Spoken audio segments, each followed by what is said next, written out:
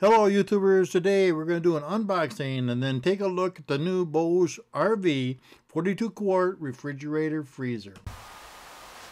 I apologize for the light, it seems to be a little bit dark in here, but uh, I guess we're just going to see if we can live with this. It looks like it might be alright.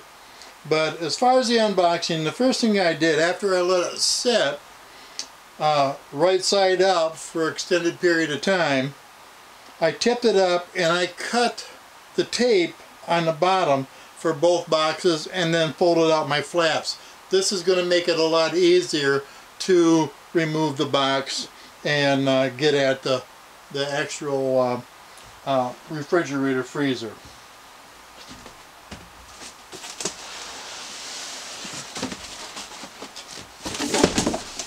And that seemed to work pretty good.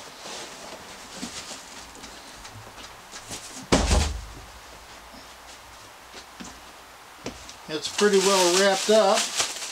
I'm going to go ahead and take it out of the plant or uh, the, uh, the foam.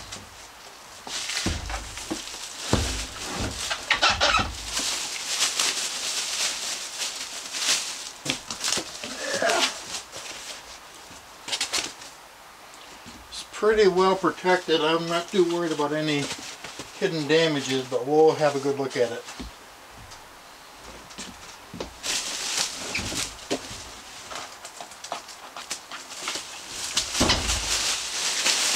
Go. Now here's the back of it. Uh, very looks like it's in pretty good shape.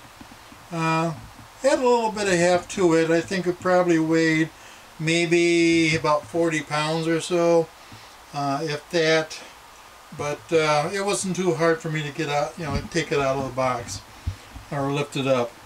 Uh, a couple things it's got on it is there's a 15 amp fuse there's your AC uh, or your power supply there, that or your plug for it. And then you've also got a switch, and that switch is for low, medium, and high. What that does for you is that's uh, your power level. So if you have it in a vehicle, you know, such as a car, and you're going to keep it plugged in there on the cigarette lighter all the time, or your 12 volt outlet, having it on low will prevent it from draining all of your power out of your battery. And so that way you'll be able to start the vehicle when you get ready to start it and you won't be stuck out in the middle of no man's land.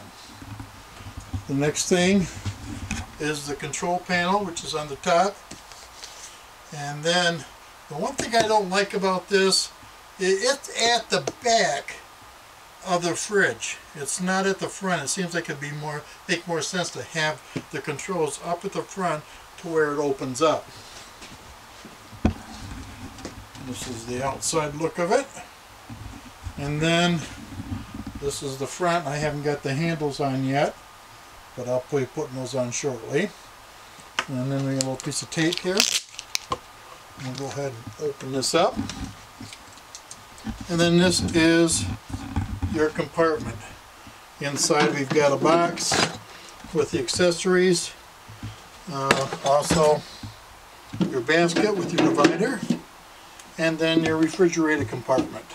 One thing about this particular freezer fridge is that it can be all one fridge or else it'd have to be this half would be a freezer and then this half would be refrigerated so you could have like soft drinks or whatever into it. But you can't have it all one solid freezer. So on the inside you'll find a handy dandy little chart and that tells you what your levels should be at as far as your, or your settings for meat, frozen food, seafood, vegetables, cooked food, water, canned drinks, fruits, soft drinks and alcoholic uh, drinks.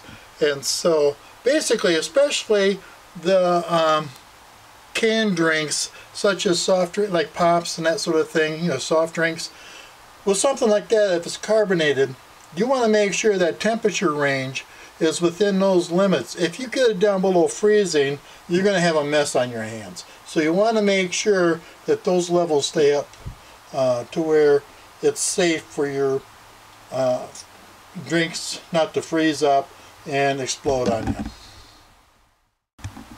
On the back, just over the control panel, it does give you your uh, instructions as far as how to turn it on and off, how to set it for eco. Uh, this also has your service numbers if needed, uh, how to set your temperature settings, and then also how to change it from uh, Fahrenheit to Celsius. Now I'll go ahead and open up the box to pull out uh, what they sent you. This would probably be uh, cords, and that sort of thing. Get that open. There we go.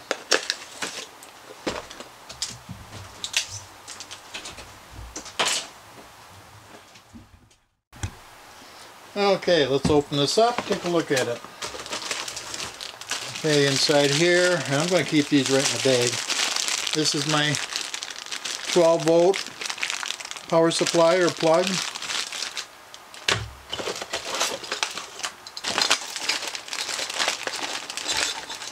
This is the handle, which I'm going to be putting on.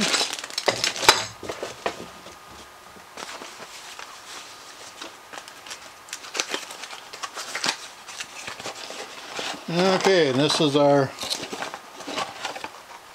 AC power supply.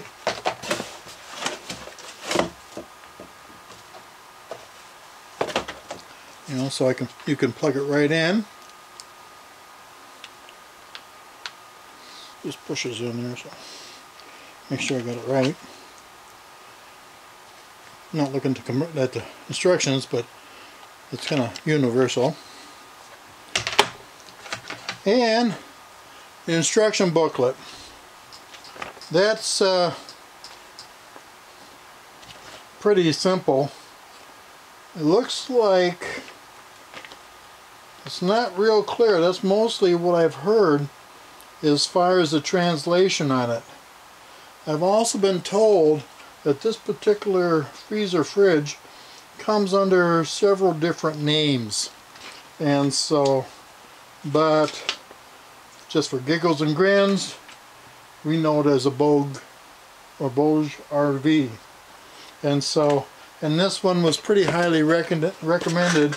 Uh, I know Robo or Hobotech uh, did a, a, review on this as well as uh, the smaller one and the larger one. And RV with Tito also did this one.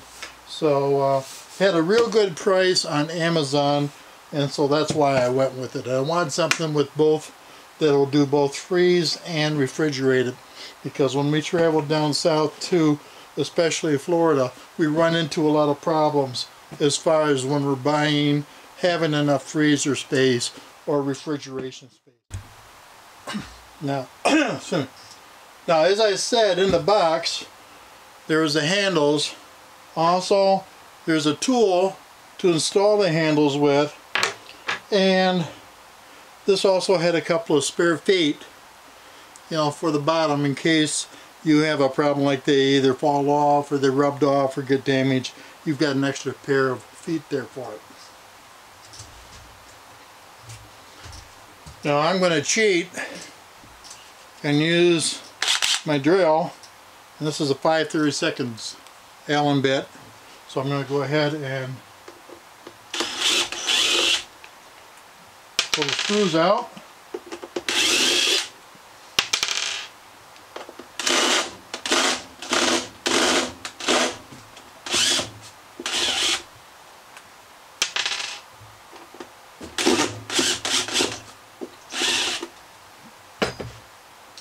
Now, first what I'm going to do is I'm going to do the right side on the front. Go ahead and cinch it in. Not going to do them too tight yet.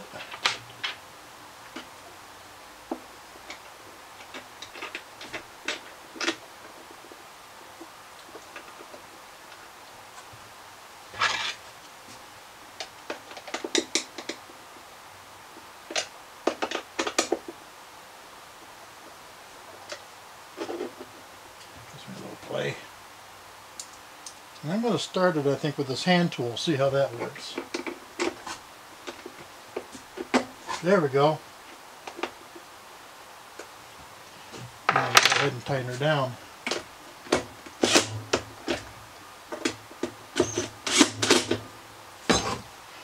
Next thing you want to do is slip the bar in, or the handle.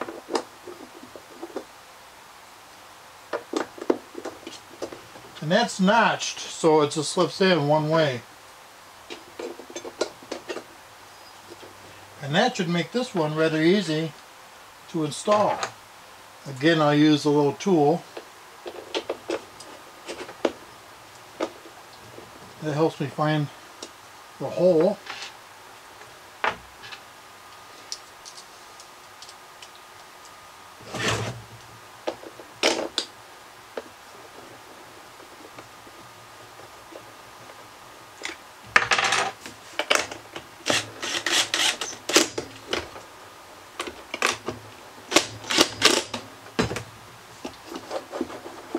Pretty tough. Now, one of the videos I watched, there was supposed to be some filler holes or filler caps for this, but I didn't see any. I'm not going to worry about it. I could probably pick something up at the hardware if it really gets on my nerves. But I think it'll be alright. Now I'm going to spin this around.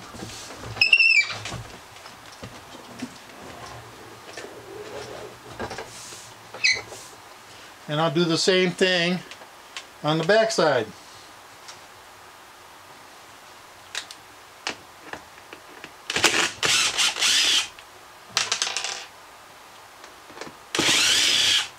Got my little roll of tape so I can drop my screws in the center that way I don't lose them.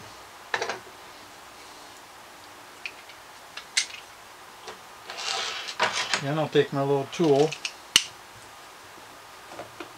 That's easy enough to find. And while it's still loose,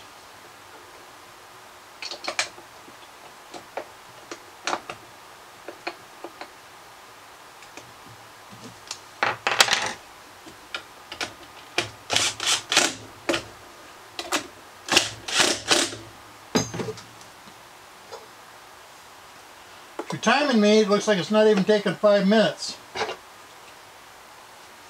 That's not too shabby for an old guy.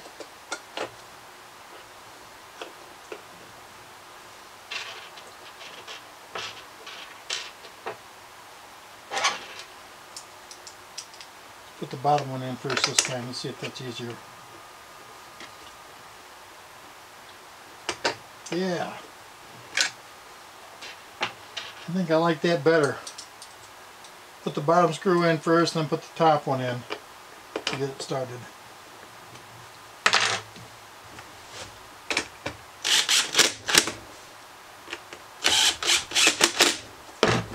And the handles are installed.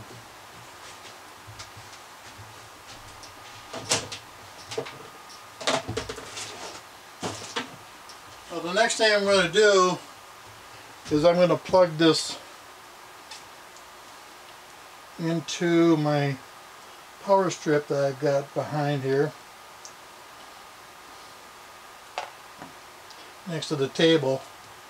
That's been another one of my favorite little upgrades by putting that power strip just below the window and above the table. It gives me like four outlets in front of you there. You know, as far as spinning this thing around, it sure works a lot better if you tip it out of the side.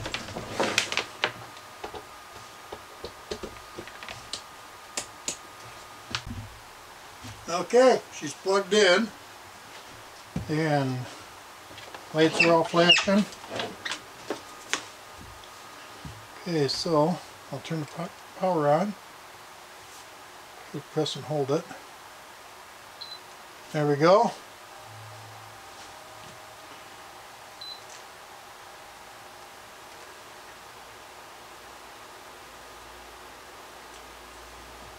Okay, it's set at 43 degrees.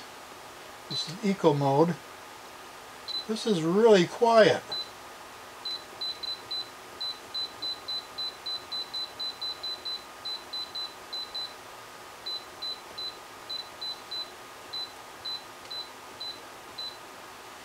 That's set for zero.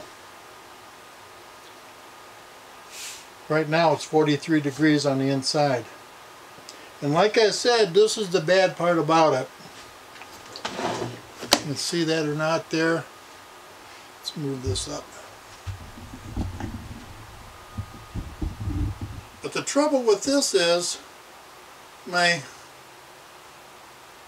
control panel and temperature is on the front or on the back, but to load it, it opens up from the other end. So basically what I'm going to have to do is spin this around and lift up and that's it. So and you can see there is a little, you have a little light on the inside. This is your basket that comes out and in the very bottom, let's see if we can get a good look at that. You can see we've got a couple of places like if you have a couple of two liter bottles or whatever, it gives you a little bit extra height for those. So it kind of tells me there might not be all that much room.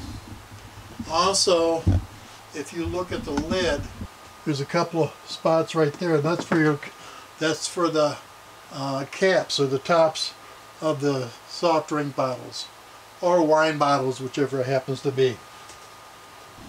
And we're going to let this run for a little while and see how it works out. I'll try to keep an eye on the temperature and see what it comes up at. Um, I understand it might be a couple degrees off, but we'll give it a look-see. And I'll do a review on it either probably in about a week or two after we use it. Uh, if not then, probably towards uh, just before Christmas because by that time uh, we'll have it packed up and we'll be taking it down as far as Tennessee and we're going to be down in Tennessee over Christmas before we head down towards Florida. So, but in the meantime, we'll give it a look-see. Overall, I think it's quite nice. Uh, I did notice on the larger one, uh, I think that's a 52 quart. That one, it's got um, uh, spots, or it's got actually places put, to put soft drinks or glasses on. It's definitely a lot larger. I didn't really think I had the room, and uh, I really didn't need that much more.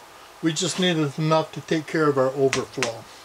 And the place I'm going to end up putting it is going to be right over there on the side booth. Uh, I'm going to see if it fits in there and we'll see how that works out. In fact, we'll get that little shot right now. I'll pull out a couple of things that got stuck in there. And we'll slide her in.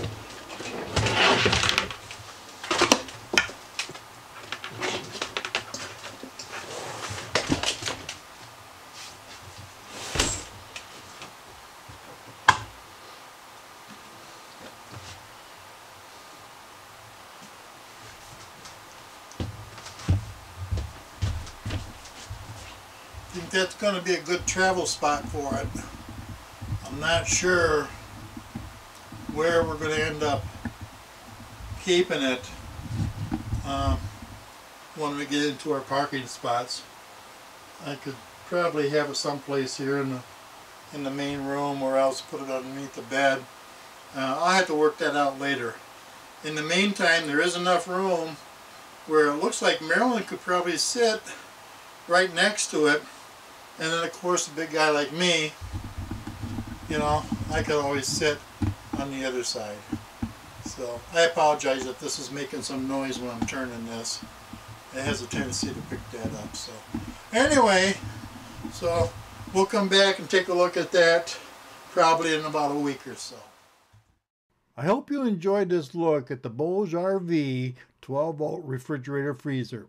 And if you like this video, please hit the thumbs up. If you haven't already, please subscribe. And most of all, thanks for watching.